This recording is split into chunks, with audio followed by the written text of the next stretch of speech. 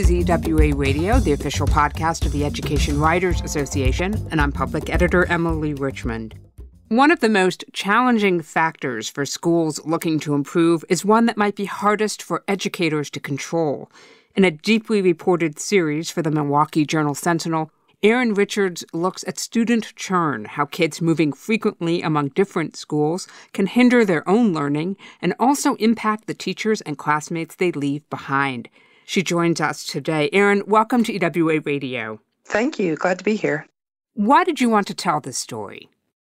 I read the book Evicted in the fall of 2015 when it came out, and I was deeply moved by the fact that this eviction crisis was forcing so many families in Milwaukee to move. The one thing the book didn't explore was the impact that all of that movement was having on kids and the schools that they were attending. And because I've covered education for so long in this city, I thought maybe there's a lot more going on here that I have failed to fully realize. So I wanted to see what turnover was happening. And how long have you been on the city beat? I've covered education here for about a decade. Obviously, you had a lot of sources already, but this particular project required quite a bit of data. How difficult was it to get, and where did you start? So I started with Milwaukee Public Schools, and they had some data on mobility between schools, but we needed all the data for private schools that receive vouchers, and we needed data for the independent charter schools as well. And I turned to the state education department, which had started as part of a state law a student information system for all kids that accept public funding, and that had been in place for two years. So that was the basis for where we started. To get student level data from the Wisconsin Department of Public Instruction, I needed to team up with a researcher who had institutional research board approval to get student level data. And then I could also get that data as a co-signer on that request. We also had an in-house data person who could look at the full spectrum of school switches between kindergarten and 12th grade. We never could have done this without seeing individual students, which usually were prohibited from getting. The agreement with the state allowed us to use that data, but we had to run what we were going to show past the state so they knew that we weren't breaking privacy laws. It was very difficult, but we knew we needed the data and we knew that we needed to crunch it to figure out if there was an impact on test scores. For folks who may not be familiar with how the Wisconsin school voucher system works, tell us a little bit about where those public dollars go and how popular the program is. There's about 100,000 kids under the age of 18 in Milwaukee specifically. The district has about mm, 65 to 70,000 kids. The private schools that receive publicly funded vouchers, there are a little over 30,000 kids in that program. And there's another 8,000 or so children attending independent charter schools. What did you find out about how often Wisconsin students generally are changing schools? When we looked at the statewide data, the figure that we came across was about one in 10 kids in Wisconsin changes school in the course of a year. And we looked at a snapshot between the fall of 2016 and the fall of 2017 for all publicly funded students. In Milwaukee and other urban districts, that rate was way higher. So in Milwaukee, one in four kids is not staying with the same school all year. So about 25% turnover in the city. How does that compare nationally? It's hard to say because only about half of states even collect data on student turnover and then report it publicly. So we undertook the challenge of querying every state education department for the figures that they collected. And it's all over the map for individual school districts. Many track it very closely and some don't track it at all. So it was really hard to tell. Based on the states that we could collect data from, that 1 in 10 figure is pretty close. And there was a big national study a number of years ago by the Government Accountability Office that also pointed to about 1 in 10 kids overall. So we knew we were kind of close to the national average based on the figures that we could get. Given how much we know about how difficult it is for kids when they do change schools, I think it is sort of stunning that it's not tracked more closely. But I also feel like maybe this is a breakthrough topic in a way, the way that chronic absenteeism has come into the spotlight in the last five or six years or so, with more states paying closer attention. What do you think? I fully agree. We know that in education, the issues and items that get the most attention are the issues that are tracked with data. And part of the problem here is that there hasn't been a big emphasis on tracking the amount of turnover, especially because we know that a lot more turnover happens in low performing schools. We just haven't made that a priority. And so it's very hard for some schools to even compare themselves to other schools to say, okay, you know, our scores are this, but we have this much turnover.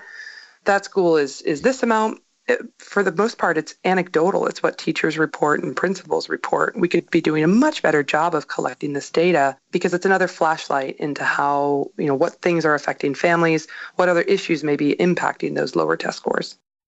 What do researchers know about how this kind of turnover and churn impacts an individual student's academic path? A number of good studies show the impact that um, student mobility has on things like behavior infractions. The link to high school dropout rates is very strong when kids switch schools a lot at the high school level. There are some researchers that believe that poverty alone is responsible for lower test scores, and turnover is just a factor of poverty. What I think is interesting that comes across in your story is this idea of parents taking advantage of these choice options with the hope, obviously, that their kid is going to go to a more successful school and have a better experience. But that's not necessarily the case, is it? This was one of our biggest aha moments, and it's only because we had two really good people crunching the data. A professor at the University of Wisconsin, Oshkosh, who I teamed up with to get the data, and then Kevin Crowe, our data reporter at the Milwaukee Journal Sentinel. What we found was that 75% of the kids leaving schools in Milwaukee were leaving a low performing program, and more than half of them were simply transferring to another low performing program. This is all judged by the state report cards. But we could show with data that what choice was designed to do, which is to help kids move to better performing schools, it just wasn't happening here. That the amount of churn and negative impacts of this were predominantly impacting negatively the kids who are already the most behind and the most disadvantaged. You also found, of course, that this has an impact on the kids who don't go anywhere, who stay in their neighborhood school. Talk a little bit about that. One of the best studies on this is a 20 year old study from David Kerbow. He looked at classrooms where there were lots of kids moving in and out, and then classrooms where most of the kids stayed put. And in both of those cases, he looked at staple students as well as the ones who moved. And even in the classrooms where lots of kids were moving, it wasn't just the movers who were negatively impacted. The pace of the class and the amount of curriculum that teachers could cover was simply slower in the classrooms with high turnover. And so that was where we really saw, man, you know, this impacts kids who are sticking around as well. If you're in a school with high churn, this could be a factor even for the kids who stay put. We're talking with Erin Richards about her reporting on student churn in Wisconsin. Don't miss an episode of EWA Radio. You never have to. You can find us on your favorite podcast app. And don't forget to take a moment to rate us on iTunes. Your support and feedback will help us grow. This week's episode is sponsored by the Eli and Edith Broad Foundation. The Broad Foundation believes in the power of public education, the potential of students, and the possibilities created by expanding learning opportunities for all children. Visit broadfoundation.org for more information. Erin, if you had to put a percentage on it, how much of this churn is being driven by the school choice options in Wisconsin versus outside factors like families having to move or relocate for financial reasons? We couldn't tell that specifically in Milwaukee because we didn't have a way to survey parents in a robust and meaningful way. What we do know from research is that residential changes and then just dissatisfaction with a school for some reason drive the majority of changes. And what we do know is that in Milwaukee, where there is so much choice, I mean, kids are very untethered from having to attend their neighborhood school. And what I found in interviewing a lot of parents in the community, parents whose voices don't get heard very much, a lot of them said, well, why wouldn't I try something new? There might be something better that I haven't found yet for my child. So switching schools wasn't seen at all as a negative to some families. It was simply seen as I'm constantly looking for something new. Other families would tell me that when they had a disagreement with a teacher or a principal, they knew that there was power in their child attending that school because there's dollars attached to that child. And so they would say, I'm taking my kid out. I'm going elsewhere. You want me, and I'm not going to stay here. I'm going to go somewhere else. And so I think for a lot of disenfranchised parents, this is also a way to exercise power. What do you mean by that? I mean that a lot of these parents are caught up in a web of a lot of other difficult life issues evictions, joblessness, trying family situations. And so a lot of them don't have a lot of other power over what's happening in their lives. And being able to exercise where their kid goes to school, some parents would say that they knew that schools wanted them, they knew that they were a valuable commodity, and that by leaving, they could almost show that principal or that school that they didn't have to stay there. They were out of there and going somewhere else. I want to talk about another player in this equation, and that is the virtual schools, which your research found are responsible for almost all of the students who leave during the summer break or mid year. What's motivating them to make that switch? A lot of students are switching into virtual schools for the same reasons they switched to other choice programs. They're looking for something different. What we found was that 40% of kids who are entering virtual schools aren't staying there. They're dropping out, they're going to private programs, so we don't know where they went, or they're just falling back into the public school system. I'd like to qualify this by saying there's lots of kids who have special circumstances for whom virtual schools are a terrific option. I probably would have taken advantage of it myself as a high school student, but we found lots of kids based on their scores who were not performing very well in public schools for one reason or another.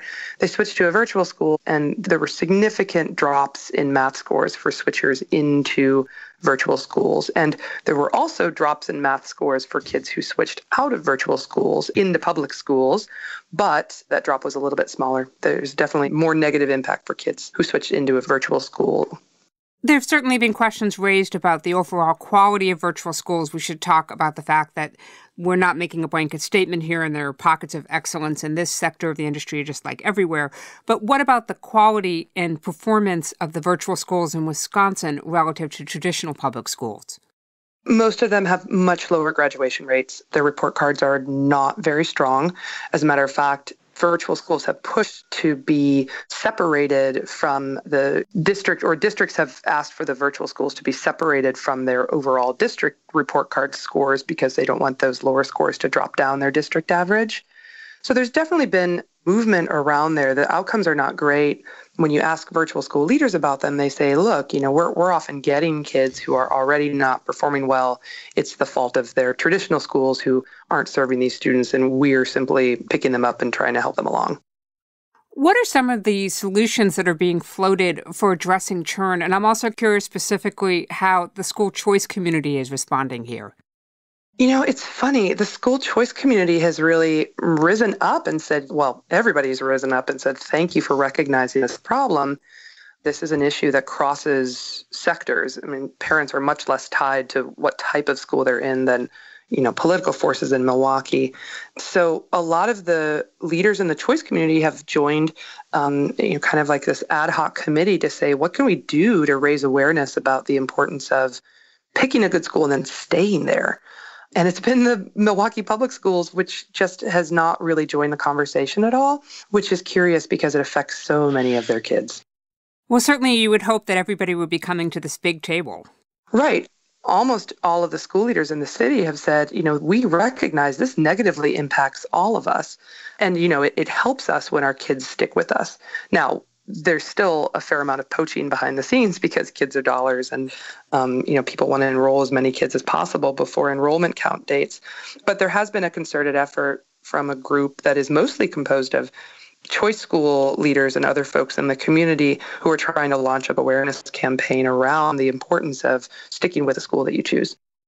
What are some story ideas for local reporters who might want to dig into this question of student churn in their own districts a really good place to start is just by asking your local district what do you track when it comes to student mobility? And it's really important to ask if they're just tracking within the district mobility or if they're also tracking ins and outs from the district. There's lots of different ways that you can define mobility and turnover and churn. So it's really important to get those definitions right. If they don't have it at all, that's a really good story because you can say, hey, this is kind of a topic that's emerging nationally, and um, you know this district doesn't know at all how many kids are moving. It's also then really good to see if you can find another district that's similar and also ask for their turnover rates and see how you can compare them. You can compare to a national average by um, simply referring to the big national story that we did, where we surveyed all states on this. And then, even if there isn't a lot of churn, there are stories to be told about stable mm-hmm. programs and how you know the impact of lots of kids and teachers sticking around from year to year can help drive growth. So, those are some of the places I would start. I would encourage everyone to go online and look at Erin's full package. I'm sure you'll find some inspiration there. You can find that at jsonline forward slash lessons lost. We did want to mention that Erin recently moved on to a new position. She's national education reporter at USA Today. Erin, we're really looking forward to see what you cover from this new vantage point. Thanks, I am too. And thank you, everybody. That wraps up another episode for us. If there's a story you want to know more about, drop us a line. We're at radio at ewa.org. The mission of the Education Writers Association is to strengthen the community of education journalists and improve the quality of education coverage. For more than 70 years, EWA has helped reporters get the story right. Have a great week, and thanks for listening.